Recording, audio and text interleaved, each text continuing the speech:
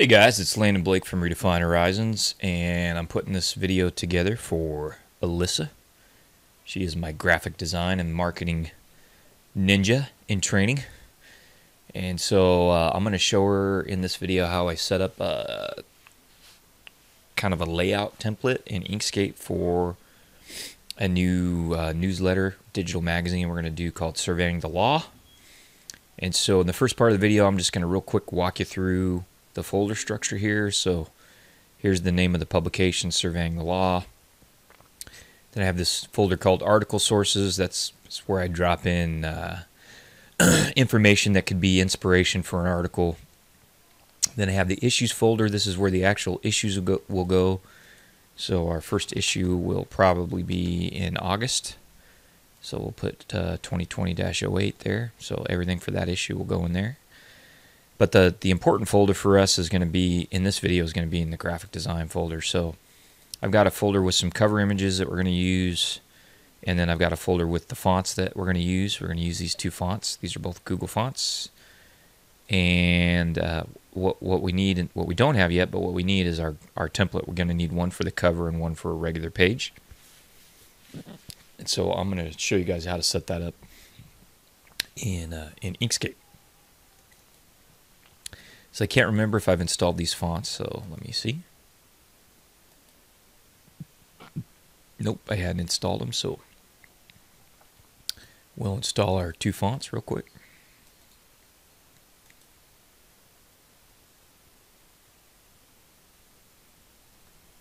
Okay. All right, so we're going to go ahead and fire up Inkscape, and uh, we're going to get started on this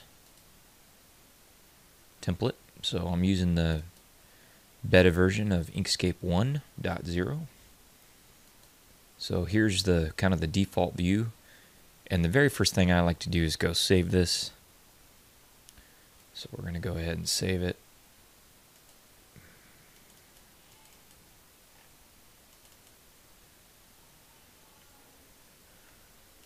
So we're going to put it in graphic design and we're going to call this regular page template, then we'll have a, a cover page template. Okay. Now what I want to do is I want to set up my document. So that's here under document properties. And uh, we're going to go ahead and get this set up. So we're going to use a legal US letter legal sheet.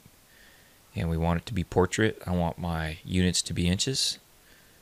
Okay, and uh, I like to leave on my page border and my page shadow, uh, but you could turn those off if you don't want them, but I like to have them on. Okay, and then we're going to come over here and set up our grid. So we're going to do a new rectangular grid, and I'm going to set the units to inches, and I like to do mine at 0.1 and 0.1. Okay, and then I like to change my major grid line color just a little bit.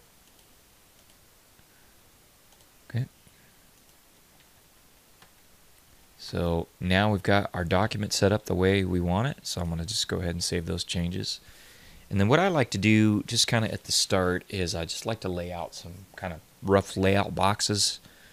And uh, the key to living life good in Inkscape is to use layers. So we're going to add a layer. And I'm going to call this uh, boxes layout. Okay, so we'll add that layer. It's now the current layer and I'm going to just pick a light gray color here and we're going to lay out some boxes. Okay so I'm going to leave myself uh, I'm going to give this a pretty wide margin I think. So I might do an inch and a half. So we'll go an inch and an inch and a half margin. So I'm going to give myself a little band. This is going to be real text heavy publication so I want to leave lots of white space. So we'll have our little header bar there then we'll put in our footer bar down here. And then we're going to basically have two columns of text. Okay.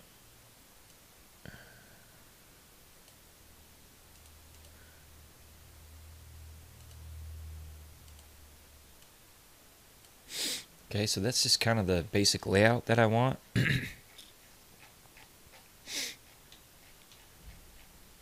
So I'm going to go ahead and save that.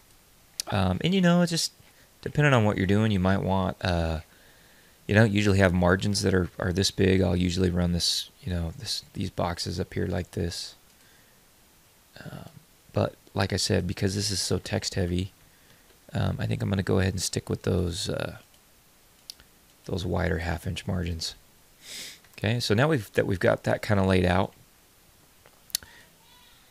We're going to go ahead and uh, lay out our our main fonts. So I'm going to go ahead. We're going to work on this header first. So each sheet, you got to remember this is a regular page, but even on the regular page, we're going to have we're going to have the title of the article. So uh, I'm just going to use set up a sample here.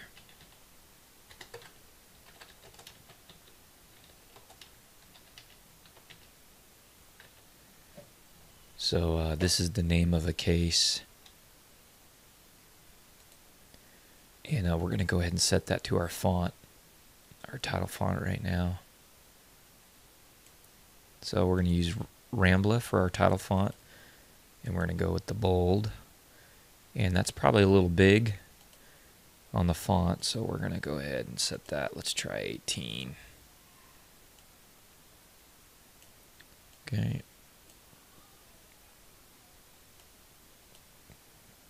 I'm to turn on my TextSnap here. And uh, we're actually, yeah, let's see here. Let's get this lined up.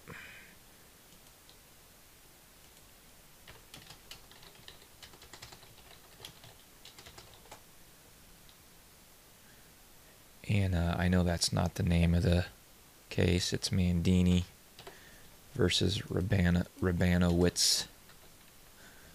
Rabanowitz. We're just using this as a sample. Okay, so I like that size. Now there's a couple things I want to do. We're actually going to, I don't usually leave these uh, grids, but I'm actually, we're going to leave these grids in this publication since it's fairly text heavy. And uh, I don't usually use rounded corners either, but in, I'm going to go ahead and use rounded corners. So uh, just changing things up a little. So I'm going to put a one tenth tenth of an inch rounded corner, and to do that, you just double click and then grab this circle on the top right, move it down. So we're going to have our rounded corners here. And uh, I don't know, I may change that, but for now I'm going to go with that. Okay. All right, so this is our title font. And then we're going to have a regular font uh, below. We're going to just kind of put a byline. And uh, so we're going to make that our regular font, uh, which is going to be Titillium, I think it's called. And thank you to the gentlemen or ladies that donated these fonts to the Google Web Fonts, which is cool. And I'm going to go with a light version of that because I want it to stand out. And we're going to try size 10. So then we're going to say,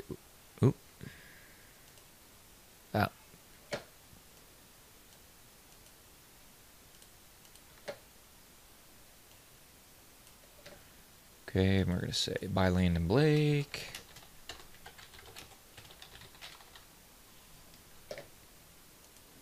We're actually going to say written by. And then uh, I'm hoping I can find a editor. Oop.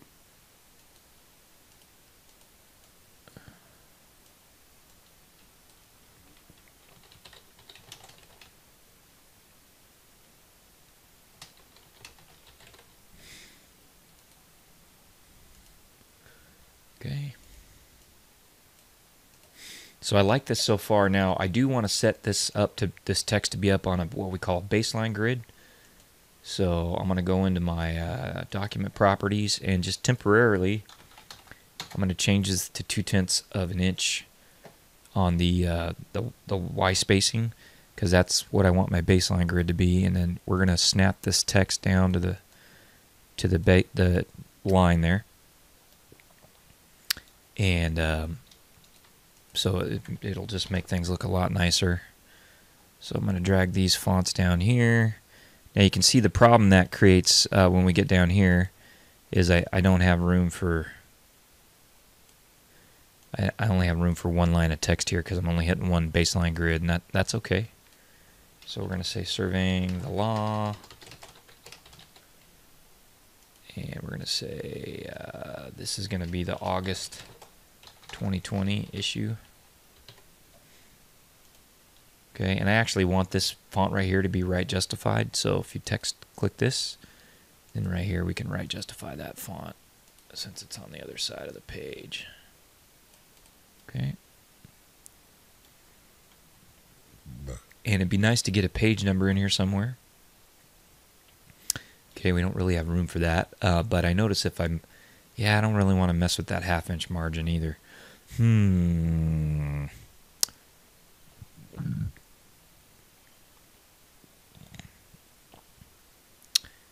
So what I might do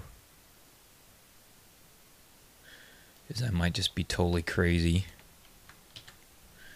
I'm going to grab this text and put it over here, kind of outside of that box, and we're going to make that the page number.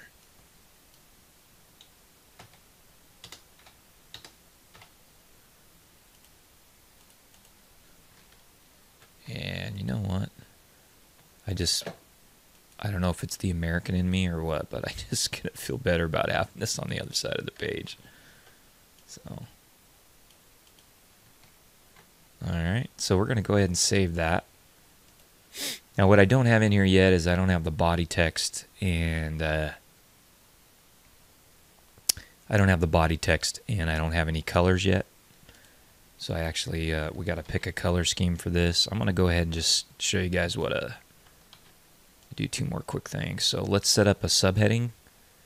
So we're going to use this same Titillium font, but it comes with several styles. That's one of the reasons why I picked it. So we're going to go with their black for our heading, and uh, we'll make our font a little bigger. Okay, so we'll say introduction. Okay, and then what we want to do is we want to set up some multi-line text and then set our spacing right so it lines up. And so I'm actually, I'm going to open that article and just steal some text because I actually have this article. Uh, let's see.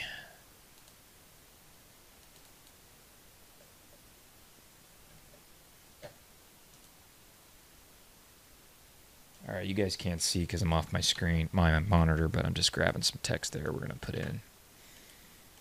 Okay, now we got to do a couple things. We got to um, we got to set this wrap limit, the bounding box of the text. So I'm gonna I'm gonna actually bring this all the way down. I want it to be right here, and uh, so now it's wrapping, breaking. The lines are breaking in the right spot, but you notice it's not aligned to my baseline grid. So I want these, the baseline of this text to be hitting these lines here. So the way you adjust that is right here. Okay, so uh, I need to increase it. So I'm going to go ahead and do that. It looks like we're pretty close right there. So every time you do that, it moves this a little bit. So you got to resnap it you can see I'm still I'm still not quite enough. I'm I'm coming up short, right?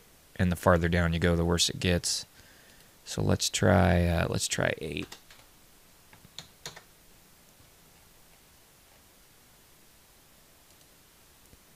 Yeah, it doesn't look like it's quite there yet. And every font's a little different. This one might be, let's try four. Yeah, it doesn't look like it's four either. All right, now looks like we might be getting closer. Okay, now I'm too far because you can see I'm, I'm I'm missing right here. So where we went too far. So let's try uh, try four two. Yeah, no. And this, you know, you just trial and error this till you get it a bit where you want it. That's pretty close. That might be it right there. Okay, so that's it. It looks good. I'm hitting the line right where I want it at 1.44. Okay. So uh, that's gonna that's gonna be how we lay that out. Now we we're gonna have some notes over here.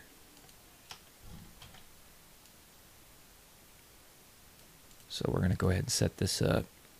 And we'll probably do a different color on this, but we're to say article summary.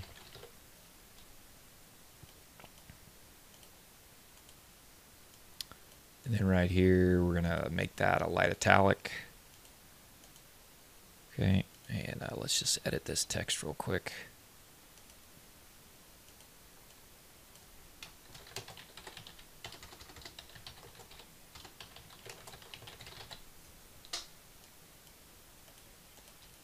Okay, so we've got a, a, fairly nice layout now. We don't have any colors yet, but uh, we'll we'll do those in the next video. So I'm gonna go ahead and save that, and uh, let's save it as a PDF. I always like to look at it as a PDF because that's how most people are gonna view it. Of course, is as a PDF. Okay, so let's check out what that PDF looks like.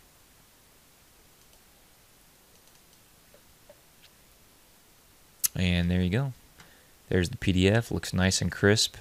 This might be a little bit thick for the size, so I might I might choose a slightly thinner style.